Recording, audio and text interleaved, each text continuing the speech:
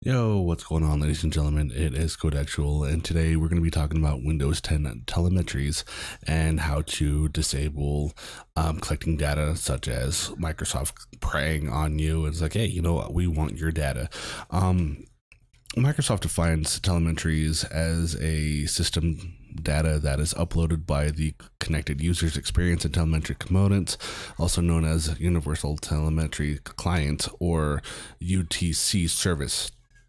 Uh, Microsoft uses telemetry data from Windows 10 to identify security and reliability issues, also to analyze and fix software problems, to help improve the quality of Windows 10 and related services, to make a de- design decision uh, for the for the future releases. Telemetry features aren't unique to Microsoft, and there is nothing particularly secret about them.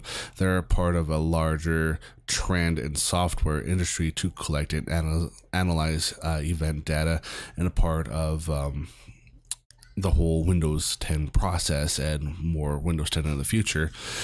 So it's not only just including of Microsoft, but Google does it too. Um, and so that's that that's all fine and dandy and everything, but when you're allowing a company to analyze the data um, uh, like let's just say your Windows PC crashed, what they do, they'll pull the data. But this is where things get a little bit more interesting is because the, you allow them having access to your computer and it's also for them having prying eyes on you such as if you were to search something on uh, cortana it will tie that with Bing because they're both Microsoft products. So if you were to type in um, on Cortana, it's like, hey, what is this? Then I was like, oh, this is that, that is this. And so what that does is it pulls it from the database. So if you were to look up how to cook um, food um, or how to cook chicken, is like, you know, it's fine knowing how to cook chicken. The thing about that is it will start displaying ch- like chicken ads to you, right? Or like a chicken recipe, or you know, you should buy this um, kitchen ware for your chicken, or something of that matter. So it just it ties out to that as well, and it also collects metadata on you. So uh, this is where we want to uh, eliminate all that. And right here is um, my GPU adapter um, telemetry. And what it does, it sends this information. So, how do we get here? Is what you want to do is go towards your um, search, go to uh, its um, diagnostic. If I can type correctly, Di- you want to go to diagnostic and feedback settings.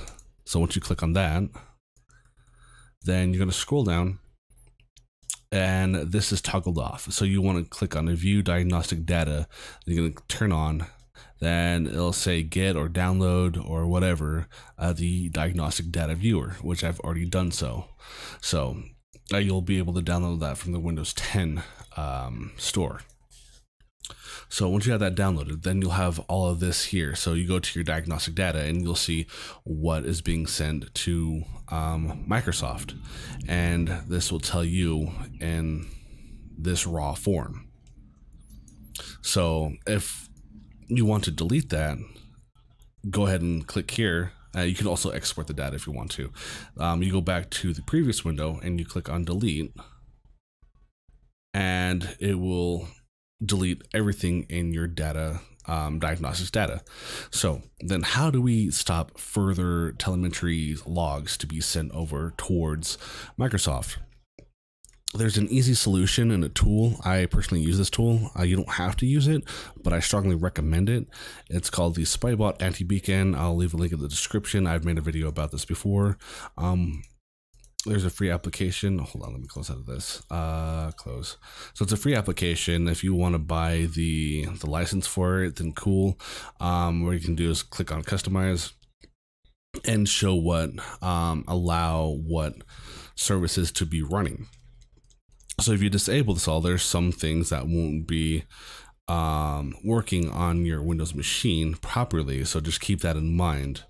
So if then you click apply, then that's basically it. It'll start blocking everything. Essentially what it does, it goes to your host file and it will um, get all the domains and services and it'll just null it out so that there won't be any connections going out to that server period. So i can just leave this in, um, in a paste bin and uh, you guys can copy and paste and put this on your um, on your host files. So there's that. Um, if you don't want to download this there's another way to do this and what we're going to do is we're going to mess around with the red registries uh, by hitting the windows key and r then typing reg edit um, let me bring that up here. Reg edit. Hit yes. So you're going to follow this pathway. So you want to go towards your um, H key local machine. Then you're going to go to software. You can click on software. Then you're going to click on policies. Then you're going to scroll down where it says Microsoft. Then you're going to scroll down where it says Windows then um, you're going to click on data collection. So I can leave a pathway here for you. And if this, um, there's two entries that you're going to have to do. It's it'll either read one with the allow space telemetries or the one with no spaces. So what I did is I just created two keys. What you want to do is right click, go to new, go to D word, a 32 bit value then what you're going to name it is allow telemetry. Telemetry. And it's the, there's one already exist so which is completely fine. Then once you're on there um put the value data as zero and put the base as hexadecimal. Then click ok and make sure you do that uh, again with allow space telemetry and a get and um, one with uh, allow telemetry with no spaces then you'll be good. So I'll go ahead and delete that extra key. That's basically it.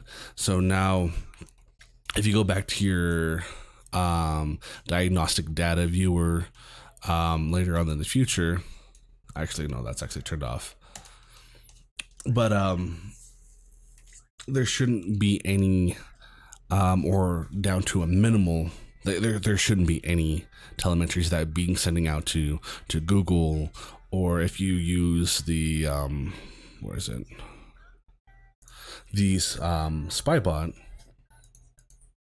and you collect all those extra services like Google and Mozilla Firefox there shouldn't be anything that is to be sent out to those services. So I hope that this video was informative. Links will be in the description.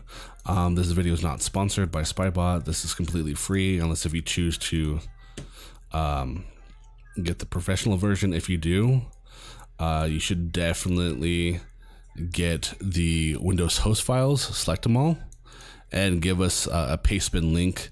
Just, you know, sharing is caring. but you should support Spybot uh, regardless because they're actually uh, a good company. All right. Um, if you guys haven't already, to hit me with a subscribe, uh, like. I do live stream, uh, so come through on there uh, on Mixer and Twitch. And we do have a Discord, so links will be in the description as per always. And you guys have a great, great, wonderful day. Thank you for sticking around. Please feel free to watch my other videos. Don't forget to like, share, subscribe, follow my social media. If you're feeling generous, check out my Patreon or send in a donation of any amount with PayPal. It really helps out with post production, equipment, food in my belly, and also continue making free content for you guys. Links in the description. Y'all take care, and thank you once again.